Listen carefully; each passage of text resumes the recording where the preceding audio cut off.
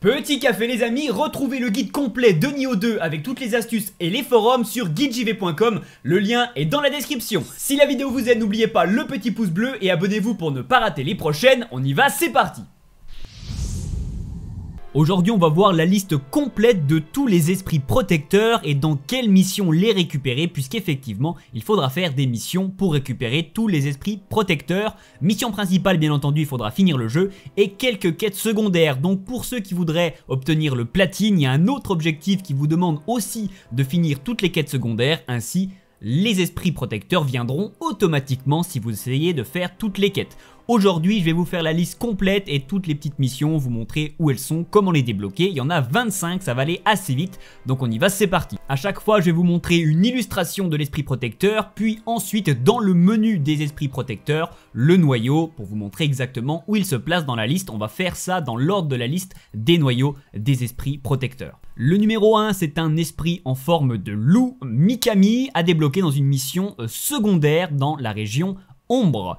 Donc voilà, c'est un, euh, esprit brut, sa spécialité. Et donc dans la région ombre, c'est la mission euh, point de non-retour qui est ici, level 74, à savoir que c'est également un esprit protecteur que vous pouvez sélectionner au début du jeu. Donc si vous l'avez sélectionné, bien entendu, vous n'avez pas de nouveau à aller le récupérer. Et c'est peut-être d'ailleurs un autre esprit qui est dans cette quête secondaire, quoi qu'il en soit, il faudra faire cette quête secondaire.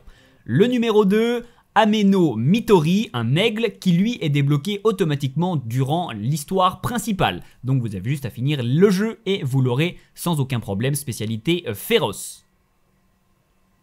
Numéro 3, le requin Kajewani. Pareil, un des esprits que vous pouvez avoir au début. Si vous ne l'avez pas choisi, il faudra donc aller le récupérer dans une mission euh, secondaire, de nouveau dans la région Ombre. Celui-ci, sa spécialité, c'est Fantôme. On aura déjà vu les trois spécialités, mais il en reste beaucoup.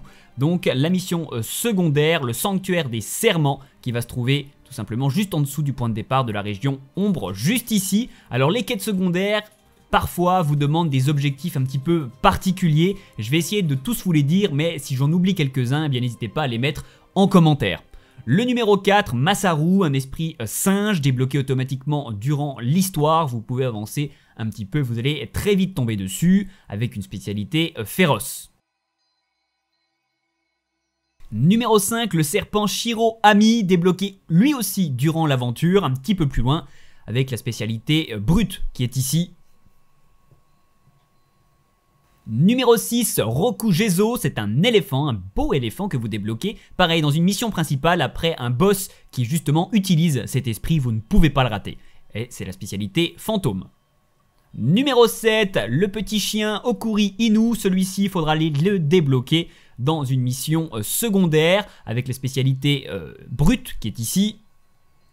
La mission secondaire va se trouver dans la région d'Essor. Il s'agira d'un hurlement de rage Ici, à droite de la région, level 47, normalement il n'y a rien euh, qui bloque cette mission, vous pouvez la faire directement.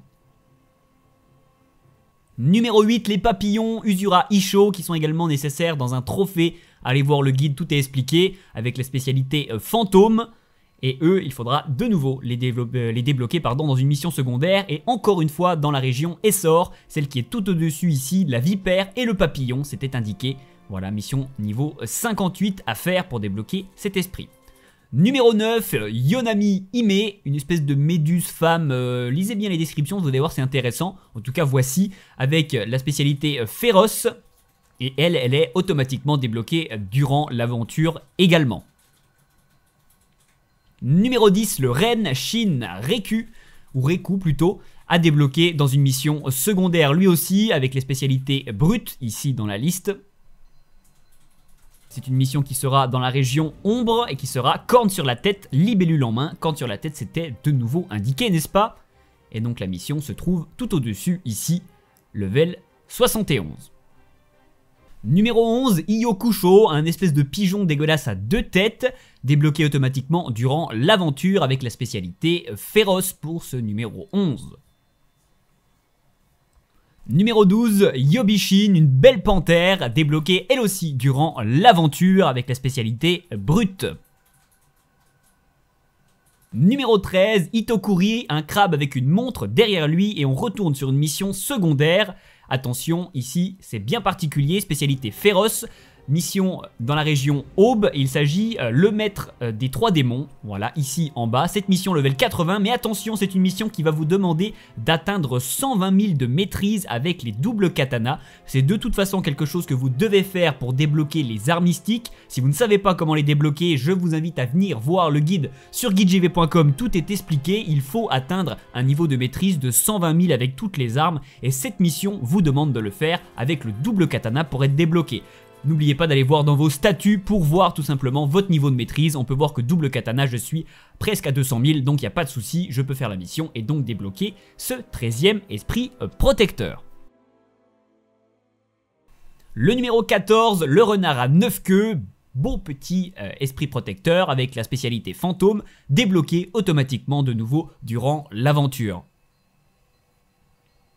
Numéro 15, l'ours Atlas, Joli nounours à débloquer dans une mission secondaire dans la région Aube avec la spécialité brute. Il s'agira de la mission Le Guerrier niveau 84 qui est ici. Numéro 16, Genbu, une tortue, débloquée automatiquement durant l'aventure avec la spécialité Fantôme. Numéro 17, Yatagarazu, c'est un corbeau, sûrement l'un des derniers que vous aurez à débloquer parce que c'est dans les dernières régions avec la spécialité euh, féroce à débloquer donc dans une mission euh, secondaire, la mission euh, qui se trouve également dans la région Aube une nouvelle fois. Il s'agit de le troisième monde qui est ici level 88.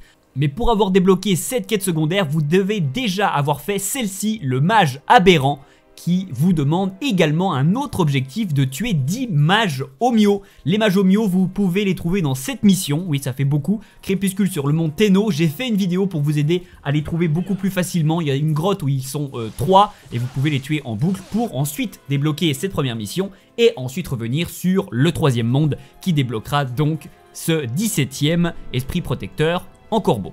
Numéro 18, Inozazao, un gros sanglier qui est ici, débloqué automatiquement durant l'aventure avec la spécialité brute.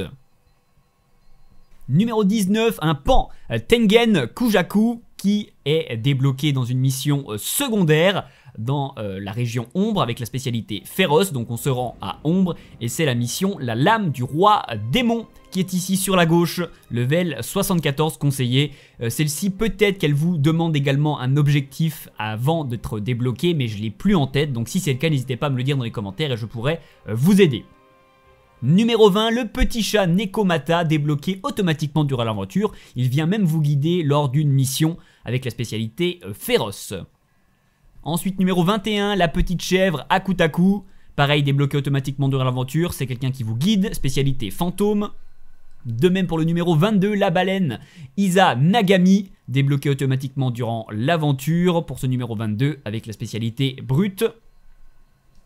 Numéro 23, le tapir Yumeami, débloqué lui aussi durant l'aventure, quasiment euh, tout est débloqué durant l'aventure jusqu'au dernier avec la spécialité fantôme. Numéro 24, Sawars, assez difficile à prononcer. Une espèce de sirène irlandaise un peu étrange, débloquée automatiquement durant l'aventure, et ce sera donc le dernier automatiquement durant l'aventure, spécialité fantôme. Et le dernier, le petit lapin Gyokuto. Ce petit dernier, faudra le débloquer dans l'une des dernières missions secondaires du jeu, spécialité féroce, et donc il faudra aller dans la région Rémanence pour trouver la mission secondaire L'aube de l'espoir, durant laquelle vous allez débloquer ce petit lapin et voilà, vous aurez obtenu tous les esprits protecteurs. Donc je vais rapidement vous les montrer de nouveau en accéléré. Bien entendu, il faudra avoir terminé le jeu pour tous les avoir débloqués en rapport avec l'aventure et faire quasiment beaucoup, quasiment toutes les quêtes secondaires pour tous les débloquer. Donc voici, bon courage, mais ça se fait sans problème. Voilà, j'espère que la vidéo vous a plu. Si c'est le cas, n'hésitez pas à mettre un gros pouce bleu, abonnez-vous pour ne pas rater les prochaines. Et je vous retrouve sur guidejv.com pour le guide complet, toutes les astuces et les forums. Petit café les amis